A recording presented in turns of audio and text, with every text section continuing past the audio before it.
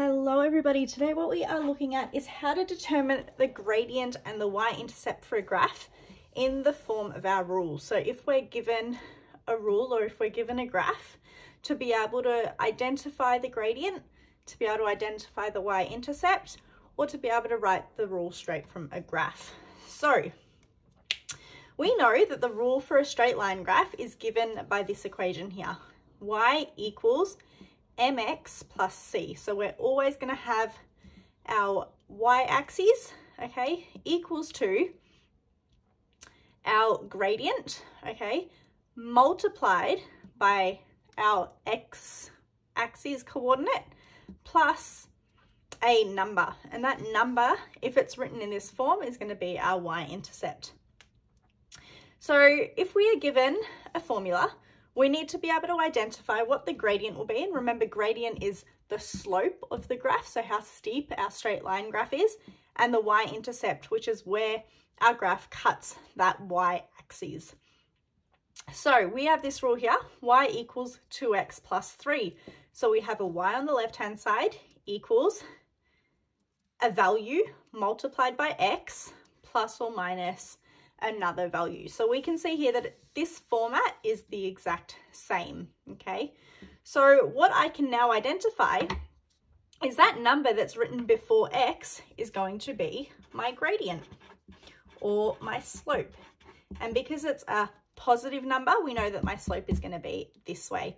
So I can go over here and I can write my gradient or my m value is 2 and the three on the end, okay, the constant on the end is going to be my y-intercept.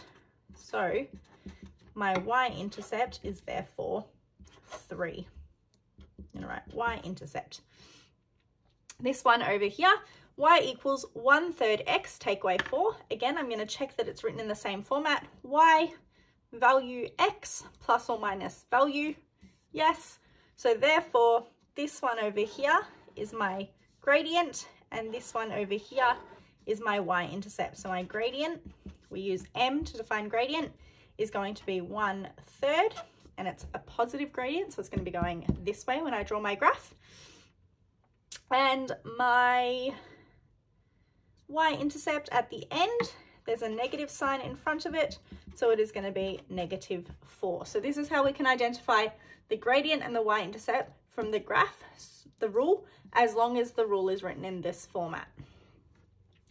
Here we're looking at finding the rule from a graph.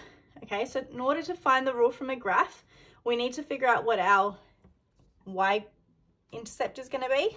Okay, but we also need to figure out what our gradient is going to be. And in the last lesson, we learnt how to figure out this m value. So remember to figure out this m value, we take two points on the graph, which we've been given. We've been given the y-intercept as negative 1 so we know this point here is 0, negative 1. And we have been given another coordinate, which is 1, 3. So to figure out our gradient, remember we do rise over run. So how much is different in my y values and how much is different in my x values. So if I look, how far does it take for me to get to negative 1 up to my y value for this one is a 3. Okay, so how many points do I have to move from negative 1 to get to 3? I have to move 1, two, three, four points because the difference between negative one and three is four. So my gradient, my rise is going to be three divided by my run. So now I've got to look at my x coordinate. So how do I get from my x coordinate of zero to my x coordinate of one? So the difference between zero and one is one. So my gradient is going to be three over one, which is three divided by one, which is three. And my y-intercept where does my green line cross my y-axis? Well, it crosses it at the point negative 1. So my y-intercept is negative 1. So when I write down my rule, I write in this format here. So y equals m, we figured out is 3. So I'm going to go 3x. And then my y-intercept, my y-intercept is negative 1. So I'm going to write down negative 1. And I've now been able to write down my rule for my graph. Let's have a look at another one.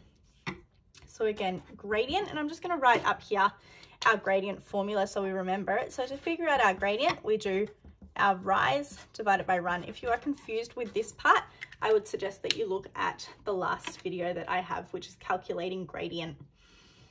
So to calculate the gradient, we're going to do rise divided by run. So we have our two points, this point here. Remember, we write our x coordinate first, which is 2, 0, and this coordinate here, which is going to be 0, 4. So my rise, okay, I am rising from 0 to 4. So to go from 0 to 4 is going to be a 4 over my run, which is going from 0 to 2. 0 to 2 is 2. Now, if I look at this graph, this graph is pointing in this direction, which means my gradient has to be negative.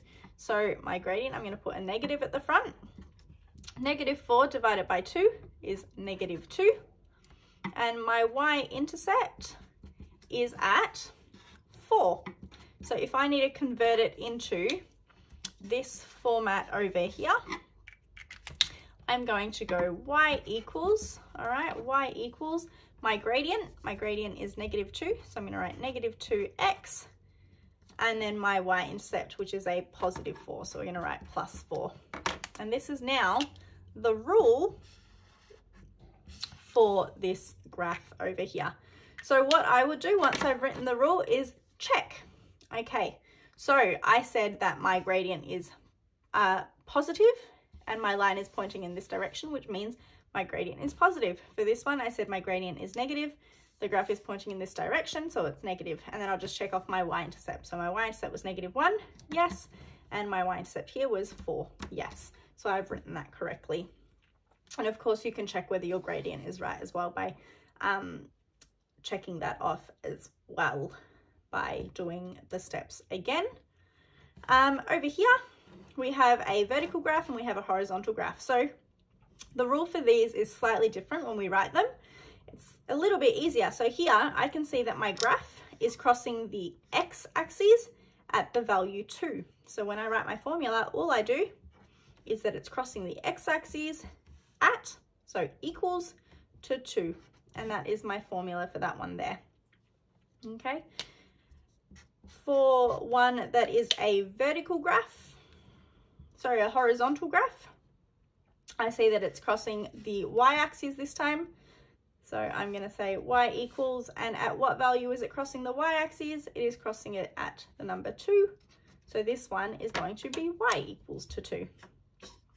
Hopefully that made some sense. If you have any questions, please leave a comment below and I'll be happy to answer it.